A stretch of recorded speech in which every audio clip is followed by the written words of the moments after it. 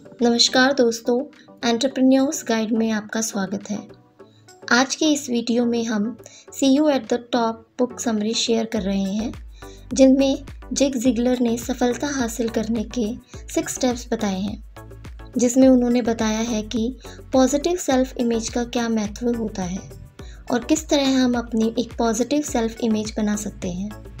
दुनिया भर के corporates educational institutions government entities and sales agencies इस किताब में बताए गए नियमों को फॉलो करते हैं। यह किताब आपको बताती है कि किस प्रकार गोल्स सेट किया जाए और कैसे इन लक्ष्यों को प्राप्त किया जाए। इसमें हमें यह भी जानेंगे कि कैसे अपने एटीट्यूड को बेहतर बनाया जाए। अगर आप इस चैनल पर नए हैं तो चैनल को सब्सक्राइब कीजिए और वीडियोस को लाइक एंड शेयर कीजिए। तो आइए शुरू करते हैं। See you at the top first self image ज़्यादातर लोगों ने अपनी खुद की इमेज को ही खराब बनाई हुई है, क्योंकि समाज हमेशा लोगों को नेगेटिव बातें सिखाता है और नेगेटिविटी फैलाता है। जब हमने खुद की इमेज ही खराब बनाई हुई है तो हम दूसरों को क्या सिखाएँगे? लेखक जिक जिगलर ने हमें खुद की इमेज को पॉजिटिव बनाने के बहुत से तरीके बताए हैं। मैं आपको उन्हीं में से सबसे ज़रूरी तरीके बताऊँगी। खुद की अच्छी इमेज बनाने के लिए आपके अंदर सेल्फ कॉन्फिडेंस और ईमानदारी जैसी पॉजिटिविटी होनी चाहिए। अगर आप में यह गुण नहीं है तो आपको यह सब गुण अपने अंदर विकसित कर लेने चाहिए। आप बाहर से लोगों को जैसे नज़र आते हैं, उसका सीधा साधा संबंध आपकी सोच और आपके विचारों से है। जिस तरह के विचार आप सोचते हैं और जिस तरह आप महसूस करते हैं, उसी तरह आप समाज में उठते बैठते हैं। आप उसी तरह के कपड़े पहनते हैं और लोगों के साथ उसी तरह से व्यवहार करते हैं। एक रिसर्च में पाया गया है कि जो कर्मचारी साफ़ सुथरे और अच्छे कपड़े पहनते हैं और खुद को अच्छी तरह से मेंटेन रखते हैं, वह काम भी दूसरों से बेहतर करते हैं। इसलिए अपनी इमेज को सुधारने के लिए हमें अपने लुक्स को भी सुधारना होगा। खुद की इमेज को सुधारने के लिए और पॉजिटिव बनाने के लिए आप इतिहास के सफल लोगों की कहानियाँ भी पढ़ सकते हैं। इतिहास के सफल लोग जैसे कि Henry Ford Abraham Lincoln Thomas Edison Andrew कानरेगी जैसे महान लोगों की कहानियाँ जब आप पढ़ेंगे तो आपके अंदर कॉन्फिडेंस बढ़ेगा और आपके जीवन में मेहनत करने और आगे बढ़ने की प्रेरणा मिलेगी। अपनी इमेज को बेहतर बनाने के लिए आप कई और काम भी कर सकते हैं। फॉर एग्ज़ाम्पल आप कोई बिज़नेस शुरू कर सकते हैं या कोई ऐसा काम शुरू कर सकते हैं जिसमें आपको विश्वास हो कि आप उसे सक्सेसफुली कर लेंगे। जब आप नया काम करने की कोशिश करते हैं और उसमें सफल होते हैं तो उससे आप में सेल्फ कॉन्फिडेंस आता है और सेल्फ कॉन्फिडेंस से आपकी खुद की इमेज और भी पॉजिटिव बन जाती है। इस तरह से अपनी इमेज को सुधारने के लिए आपको लगातार ऐसे काम करने होंगे जिससे आपका सेल्फ कॉन्फिडेंस बढ़ता रहे। सबसे ज़रूरी बात यह है कि सेल्फ कॉन्फिडेंस कभी भी एक दिन में नहीं बढ़ता और आपकी इमेज कभी भी एक दिन में नहीं बनती। इस तरह से लगातार सेल्फ कॉन्फिडेंस बढ़ाने वाले काम करके आप अपनी इमेज को बेहतर बना सकते हैं और जीवन में सफलता हासिल कर सकते हैं। Second your relationship with others आपको लाइफ में सक्सेसफुल होने के लिए इस बात का ध्यान रखना बहुत ज़रूरी है कि लोगों के साथ आपका रिलेशन कैसा है। कुछ वर्ष पहले सौ सफल लोगों पर रिसर्च किया गया जो खुद अपनी मेहनत से करोड़पति बने थे। वह सब अलग अलग जगह से थे और उनकी एजुकेशन और स्किल्स का लेवल भी अलग अलग था। उनमें से सत्तर लोग ऐसे थे जो ऐसी जगह के रहने वाले थे जहाँ पंद्रह हज़ार से भी कम पॉपुलेशन थी। लेकिन उन सभी में एक चीज़ कॉमन थी और वो थी दूसरों में अच्छाई देखने की आदत। वह सभी दूसरे लोगों में बुराई देखने के बजाय उनकी अच्छाइयों को देखते थे। वह बुरी कंडीशंस में भी अच्छाई देखते थे। यह बात हमारे संबंधों में भी बहुत ज़रूरी है, क्योंकि जैसा हम लोगों के बारे में सोचते हैं, वैसा ही व्यवहार वह हमारे साथ करते हैं। आप जिस तरह से लोगों को देखते हैं और समझते हैं, उनसे उसी तरह का व्यवहार करते हैं। लोगों के साथ बेहतर रिलेशन बनाने के लिए ये बहुत ज़रूरी है कि आप उनके अंदर अच्छाइयों को देखें, ना कि बुराइयों को। सफल लोगों की यह विशेषता होती है कि वह दूसरों की बुराई नहीं करते। अब आप सोचिए कि आप दूसरों को किस तरह से देखते हैं। आप उनमें बुराई देखते हैं या अच्छाई देखते हैं? अगर आप अभी तक दूसरों में बुराइयाँ देखते रहे हैं तो आज से बुराइयाँ देखना बंद करें। और दूसरों में अच्छाइयाँ देखना शुरू कर दें।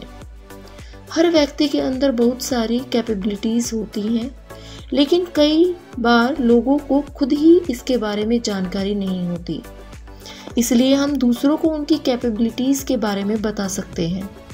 सफल होने के लिए पहले आपको खुद की कैपेबिलिटीज़ को जानना होगा और उसके बाद दूसरों से अच्छे रिलेशन बनाने के लिए आपको दूसरों की कैपेबिलिटीज़ को पहचानना होगा। ऐसा करने से आप दूसरों को एनकरेज करेंगे और उसके साथ आपके रिलेशन बेहतर बनेंगे, जो आपको एक सफल इंसान बनाने में मदद करेंगे। केवल दूसरे लोगों के साथ ही नहीं, आपके फैमिली मेंबर्स के साथ भी आपके रिलेशंस अच्छे होने चाहिए।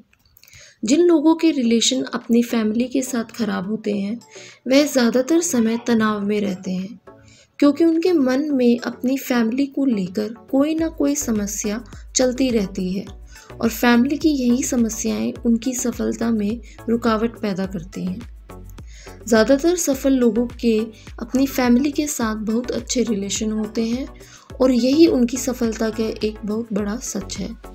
फैमिली के लोगों के साथ अच्छे रिलेशन होने से व्यक्ति अपना सारा ध्यान अपने काम पर लगाता है, जिससे वह अच्छा काम करता है और सफलता हासिल करता है।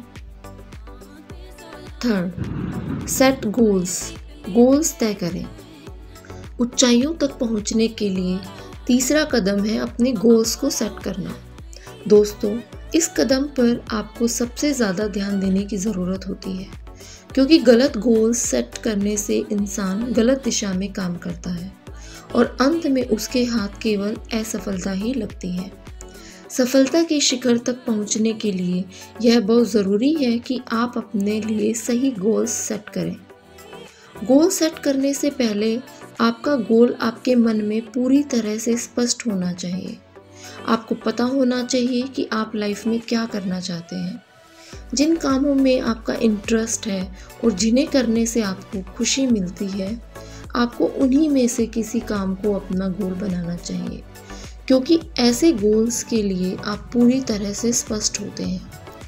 किसी भी गोल्स को सेट करने के बाद आपको उसे हासिल करने के लिए पूरा प्लान बनाना होगा। क्योंकि बिना प्लान के किसी भी गोल्स को हासिल नहीं किया जा सकता। उदाहरण के तौर पर सर एडमंड हिलैरी, जो कि माउंट एवरेस्ट पर पहुँचने वाले सबसे पहले इंसान थे, उन्होंने अपना गोल हासिल करने के लिए एक स्पष्ट प्लान बनाया था। दोस्तों, ऐसा बिल्कुल नहीं है कि वह एक दिन अपने घर से बाहर घूमने निकले और अचानक उन्होंने अपने आप को माउंट एवरेस्ट पर पाया। उन्होंने माउंट एवरेस्ट पर पहुँचने के लिए एक प्रॉपर प्लान बनाया था और उनके अंदर वहाँ तक पहुँचने का उत्साह था। उन्होंने हमें कुछ ज़रूरी बातें बताई हैं जो लाइफ में किसी भी गोल को हासिल करने के लिए ज़रूरी है। दोस्तों, मैं आपको वह ज़रूरी बातें बताना चाहती हूँ। फ़र्स्ट आज आप जीवन में जहाँ भी हैं, उस बात का रिकॉर्ड ज़रूर रखिए। रिकॉर्ड रखने से आपको पता होगा कि आपने अपना सफ़र कहाँ से शुरू किया था और आप इस बात का भी अंदाज़ा लगा पाएँगे कि आपको कहाँ तक जाना है और उसके लिए आपको कितनी मेहनत करनी होगी। सेकंड अपने सभी गोल्स को एक पेपर पर लिस्ट बनाकर लिखिए।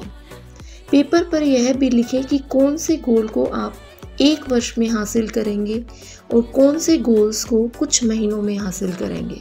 और कौन से गोल्स को कुछ हफ्तों में या कुछ ही दिनों में हासिल करेंगे। ऐसा करने से आप अपने सभी गोल्स के लिए एक टाइम सेट करेंगे। थर्ड आपको अपने हर गोल को स्पष्ट करना होगा। आप ऐसे नहीं लिख सकते कि आप पैसा कमाना चाहते हैं। आपको स्पष्टता से सोचना होगा कि आप कितना पैसा कमाना चाहते हैं और कितने समय में कमाना चाहते हैं। आपको ऐसा नहीं सोचना चाहिए कि आपको एक बड़ा घर बनाना है, एक बड़ी गाड़ी खरीदनी है। आपको पेपर पर साफ़ साफ़ लिखना होगा कि आपको किस तरह का घर बनाना है और कौन सी जगह पर बनाना है। आपको किस कंपनी की गाड़ी खरीदनी है और उस गाड़ी का मॉडल, रंग और उसकी सभी खूबियाँ आपके मन में बिल्कुल साफ़ होनी चाहिए, तभी आप उन्हें पेपर पर लिखें। फोर्थ, आपको लॉन्ग टर्म गोल्स सेट करने चाहिए। उदाहरण के तौर पर, एक साल में आप अपने बिज़नेस को कितना बढ़ाना चाहते हैं या एक साल में आप कितना धन कमाना चाहते हैं? आपको जीवन के ज़्यादातर गोल्स लॉन्ग टर्म ही होते हैं। हर रोज करने वाला काम जीवन का गोल्स नहीं हो सकता। फिफ्थ आप अपने और अपने गोल्स के बीच में आने वाली बाधाओं की भी एक लिस्ट बनाइए, क्योंकि बाधाओं की लिस्ट बनाने से आप उन्हें हटाने का प्लान बना सकते हैं। जब आप बाधाओं की लिस्ट नहीं बनाते तो कई बाधाएँ जो आपके ध्यान में नहीं रहते, अचानक से आपके सामने आ जाते हैं और आपका काम रुक जाता है और आपको अपने गोल्स तक पहुँचने में बहुत ज़्यादा समय लगता है। सिक्स अब आप अपने बड़े गोल्स को छोटे छोटे गोल्स में बांटते हैं। उदाहरण के तौर पर, अगर आप किसी खास एग्ज़ाम की तैयारी कर रहे हैं तो आप उसके सिलेबस को छोटे छोटे हिस्सों में बांटते हैं। जैसे कि अगर आपके सिलेबस में 16 चैप्टर्स हैं तो आप किस चैप्टर को कितना समय देंगे? यह सब आपको अपने प्लान्स में लिखना होगा। सेवेंथ अपने गोल की ओर पहला कदम उठाने से पहले आपको खुद को अपने गोल्स को कराना होगा। सेवेंथ अपने गोल्स की ओर पहला कदम उठाने से पहले आपको खुद को अपने गोल्स को करना होगा। दोस्तों विजुअलाइजेशन की प्रक्रिया एक बहुत ही शक्तिशाली प्रक्रिया है, जिसे इतिहास के बहुत से सफल लोगों ने इस्तेमाल किया है। फॉर एग्ज़ाम्पल अगर आप अपनी फेवरेट गाड़ी खरीदना चाहते हैं तो आपको मन ही मन में अपने आप को उस गाड़ी को चलाते हुए देखना होगा। हर रोज़ विजुअलाइज करने से आप अपने मन में अपनी फेवरेट गाड़ी को चलाने का एहसास जगाएँगे और जब आप उस दिशा में काम करेंगे तो वही एहसास आपको आपके गोल्स की ओर खींच ले जाएगा। फोर्थ एटीट्यूड क्या आप ज़्यादा धन कमाना चाहते हैं और अपने जीवन का आनंद उठाना चाहते हैं, तनाव को कम करना चाहते हैं, ज़्यादा प्रभावशाली बनना चाहते हैं, अच्छी सेहत चाहते हैं और दूसरों के साथ अच्छे रिलेशन बनाना चाहते हैं? दोस्तों, यह सब पाना आपके लिए संभव है। आप यह सब कुछ पा सकते हैं लेकिन उसके लिए ज़रूरत है सही एटीट्यूड की। सही एटीट्यूड का मतलब है सही सोच और दूसरों के साथ आपका सही व्यवहार। आजकल दुनिया के हर देश में बहुत से ऐसे स्कूल हैं जो अलग अलग तरह के काम सीखने की ट्रेनिंग देते हैं। लेकिन सही सोच और सही एटीट्यूड बनाने की ट्रेनिंग किसी भी स्कूल में नहीं दी जाती। आप तब तक किसी भी काम में आम लोगों से बेहतर नहीं कर सकते, जब तक उस काम के लिए आपका एटीट्यूड सही नहीं होगा। एटीट्यूड के बारे में समझने के लिए लेखक जिग जैगलर ने हमें एक बहुत अच्छा एग्ज़ाम्पल दिया है। जिग एक बार अपनी गाड़ी से कहीं जा रहे थे तो रास्ते में उन्हें एक रोड ट्रांसपोर्ट कंपनी में काम करता हुआ उनका एक दोस्त दिखाई दिया। उन्होंने उसके पास जाकर अपनी गाड़ी रोकी और उससे मिले। जिक को अपने उस दोस्त से मिलकर बहुत खुशी हुई, क्योंकि वह स्कूल के बाद काफ़ी समय बाद मिले थे। उन दोनों ने मिलकर एक साथ लंच किया और बहुत सारी बातें की। लंच करने के बाद जब वह जाने लगे तो उन्होंने देखा कि उनका एक और दोस्त, जो कि उस ट्रांसपोर्ट कंपनी का हेड था, वहाँ पर काम देखने आया। यह सब देखकर जी ने अपने पहले दोस्त से पूछा कि तुम दोनों एक साथ पढ़ते थे और तुमने काम करना भी एक साथ शुरू किया। लेकिन वह कंपनी का हेड बन गया और तुम अभी भी उसी पोजीशन पर काम कर रहे हो। तो इस पर उसके दोस्त ने जवाब दिया कि जब मैंने इस कंपनी में काम करना शुरू किया था तो सिर्फ़ यह सोचकर किया था कि मुझे एक घंटा काम करने के थ्री पॉइंट फिफ्टी रुपये मिलेंगे। वह दोस्तों आज भी यही सोचकर काम कर रहा था कि जितना वह काम करेगा, उसके अनुसार ही उसे पैसे मिलेंगे। वही उनका दूसरा दोस्त यह सोचकर काम कर रहा था कि उसे अच्छी तरह से काम करना है और कंपनी के लिए वैल्यूएबल बनना है। दोस्तों, इससे हमें यह पता चलता है कि पहला दोस्त पैसे कमाने के लिए काम कर रहा था और उसका सारा ध्यान केवल पैसे कमाने पर था। यही उसका एटीट्यूड था इसलिए वह अपनी कंपनी में ज़्यादा आगे बढ़ नहीं सका। जबकि दूसरा दोस्त यह सोचकर काम कर रहा था कि उसे काम करना है और आगे बढ़ना है। इसलिए वह अपना ध्यान केवल काम पर रखता था, पैसे कमाने पर नहीं। और उसके, इस एटीट्यूड के कारण उसने तरक्की की और एक दिन वह अपनी कंपनी का हेड बन गया। अगर आप भी अपने लाइफ में कुछ करना चाहते हैं कोई बड़ा गोल हासिल करना चाहते हैं तो आज ही उसके लिए अपना सही एटीट्यूड बनाएँ। अगर आप काम करने पर ध्यान देंगे और अपना काम करने का एटीट्यूड बनाएँगे तो आप अच्छा काम भी कर पाएँगे और साथ ही साथ अच्छे पैसे भी कमा पाएँगे। अच्छा काम करने से आपको तरक्की मिलेगी और एक दिन आप सफलता के शिखर पर पहुँच जाएँगे। फिफ्थ वर्क दोस्तों अगली बात जो हमें लेखक ने सफल होने के बारे में बताई है, वह है काम करना। जीवन में सफलता पाने के लिए हमें काम करना होगा। जो कहते हैं कि सफल होने के लिए कोई शॉर्टकट नहीं होता। इसके लिए लाइफ में कोई भी गोल हासिल करने के लिए काम तो आपको करना ही होगा। आपको लाइफ में वही काम करना चाहिए जिसमें आपका इंटरेस्ट हो, क्योंकि तभी आप उस काम को अच्छी तरह कर सकेंगे। अगर आप ऐसा काम करने की कोशिश करेंगे जिनमें आपका कोई इंटरेस्ट ही नहीं है तो ऐसे काम में आपका दिल नहीं लगेगा और आप बहुत जल्दी ही उस काम से बोर हो जाओगे। इसलिए वही काम करें जिसमें आपका इंटरेस्ट है। और जब आप उसे मन लगाकर करेंगे तो सफलता अपने आप आपको मिलती जाएगी। सफलता हासिल करने का यही राज है कि आपको खुद कोशिश करनी होगी। आप लाइफ में अपने सबसे ज़्यादा फेवरेट काम को चुनिए और अपने लिए फेवरेट गोल सेट कीजिए।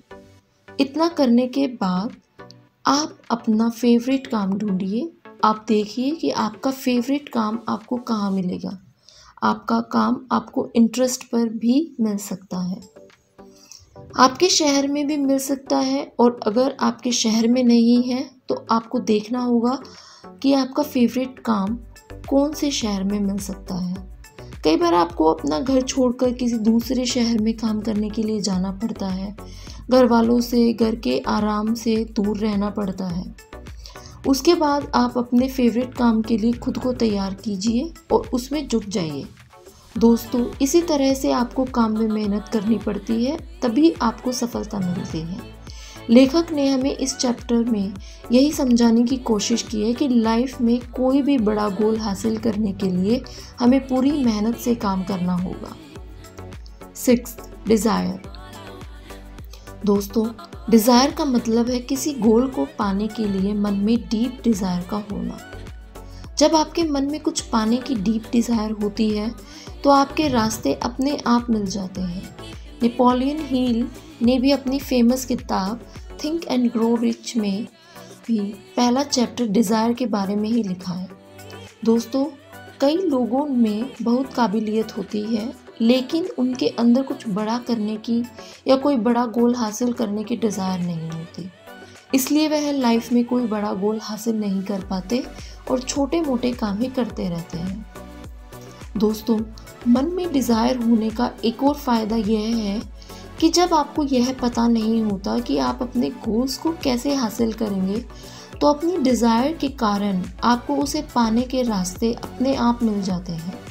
मान लीजिए, आप किसी बड़ी कंपनी में इंजीनियर का काम करते हैं, काम करना चाहते हैं, लेकिन आप वहाँ तक कैसे पहुँचेंगे, इस बारे में आपको कुछ नहीं पता। तब आप हर रोज़ उस कंपनी में काम करने के बारे में सोचेंगे तो धीरे धीरे आपको रास्ते दिखाई देने शुरू होंगे। आपको इंजीनियरिंग में एडमिशन लेने का कोई ना कोई रास्ता मिल जाएगा। अगर आप ठीक से तैयारी करेंगे तो किसी अच्छे इंजीनियरिंग कॉलेज में आपको एडमिशन मिल जाएगी। उसके बाद आपको इंजीनियरिंग में मेहनत करनी होगी और जब आप इंजीनियरिंग करते हुए भी उस कंपनी में काम करने के बारे में लगातार सोचेंगे और अपने मन में इच्छा रखेंगे तो हो सकता है कि वह कंपनी रिक्रूट के लिए आपके कॉलेज में आ जाए। अगर वह कंपनी आपके कॉलेज में नहीं आती तो इंजीनियरिंग के बाद वह काम करने वाला कोई ना कोई व्यक्ति आपको ज़रूर मिलेगा, जो आपको उस कंपनी में हायर होने में हेल्प करेगा। दोस्तों, शायद इस समय आपको मेरे इस एग्ज़ाम्पल पर ज़्यादा यकीन ना हो, लेकिन यह एग्ज़ाम्पल 100 परसेंट सच है। जब आप किसी गोल्स को पाने की अपने मन में इच्छा रखेंगे तो उस तक पहुँचने के रास्ते आपको ज़रूर मिलेंगे। बस आपको उन रास्तों पर चलने के लिए और मेहनत करने के लिए खुद को तैयार करना होगा। आपका गोल बहुत सारे पैसे कमाना, बड़ी गाड़ी, बड़ा घर खरीदना, अपने फेवरेट लाइफ पार्टनर से शादी करना भी हो सकता है। आपका गोल चाहे जो भी हो आपको उसे हासिल करने के लिए अपने मन में इच्छा रखनी चाहिए और खुद को मेहनत करने के लिए तैयार करना चाहिए। तो दोस्तों, आपको ये समरी कैसी लगी, ये कमेंट में बताइए और अगली कौन सी बुक समरी चाहिए, ये भी सजेस्ट करें। Thank you thank you guys उम्मीद है आपको ये वीडियो पसंद आई होगी। आपने अब तक हमारे चैनल को सब्सक्राइब नहीं किया है तो इमीडिएटली चैनल को सब्सक्राइब करें और वीडियो को इमीडिएटली लाइक और कमेंट भी कर दें। जल्दी मिलेंगे और भी बेहतर वीडियो के साथ। Thank you so much